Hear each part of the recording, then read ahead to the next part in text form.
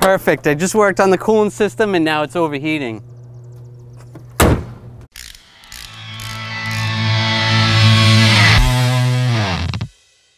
So you were just working on your car or truck, doing something to the coolant system, whether you're replacing a radiator, a water pump, or a thermostat, and you added coolant, and now you need to burp or bleed the system.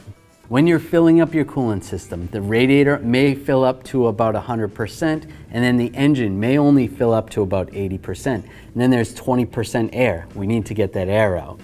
Because of the air pocket, it may not allow the coolant to circulate properly. The thermostat may not even open up, allowing hot coolant from the engine to enter into the radiator and cooler coolant from the radiator to enter the engine, cooling the engine down.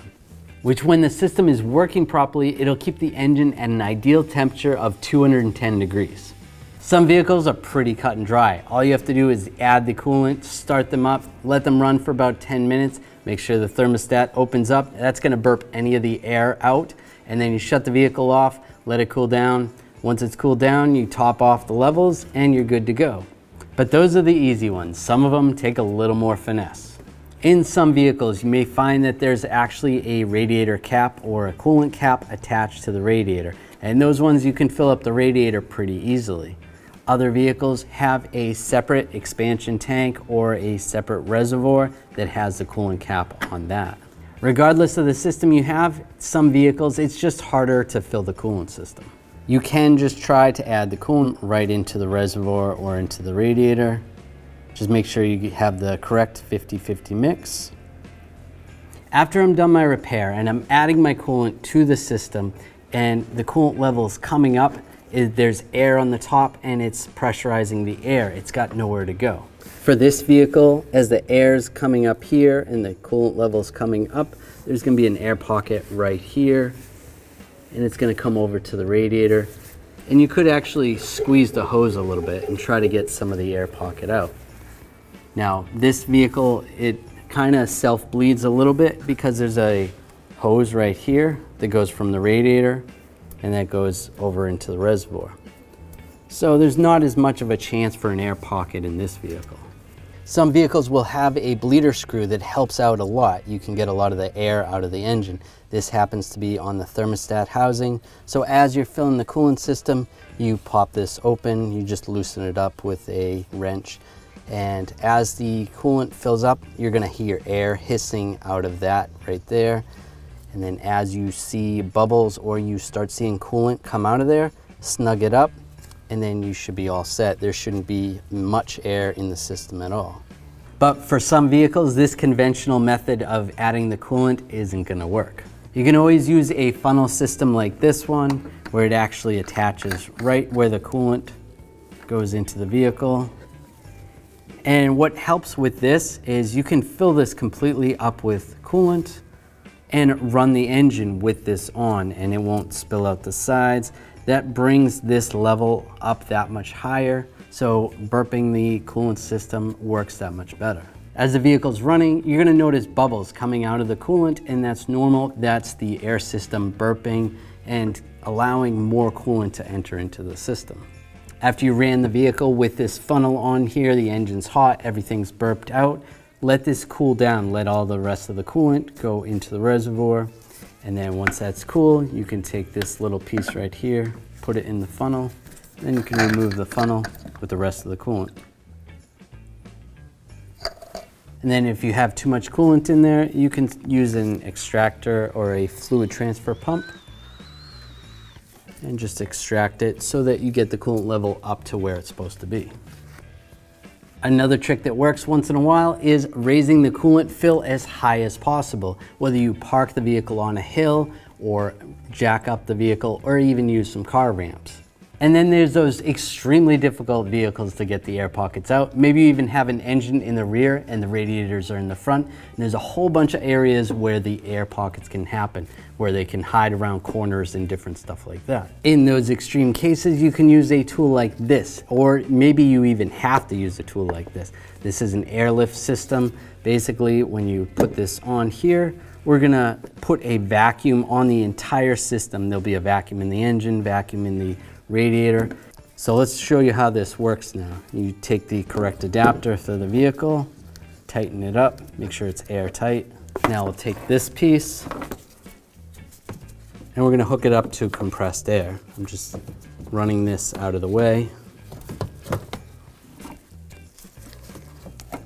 It's gonna hook up right here and hook up an airline and open this. And it's gonna put a vacuum on the system. There is a gauge. Normally it takes a couple minutes to extract the system and you can see the radiator hose is completely crushed down, which is normal. So there's a vacuum on the system. So with that valve closed, we can take this off, put this hose on. So now put this in the proper coolant jug. And we'll open this valve. And see, it's gonna suck all the coolant into the reservoir and it's gonna go into the hoses and it's gonna start filling up. And this makes it a significantly easier to fill a difficult system. When you start seeing air in there, close it up, get another jug of coolant.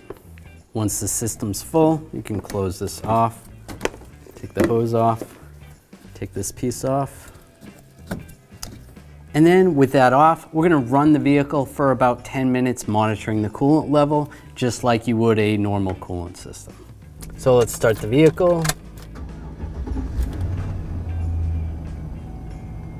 And we want to turn the heat on low. You don't want to have it on high.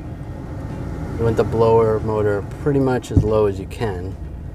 And then change the mode. So the heat's coming out of here.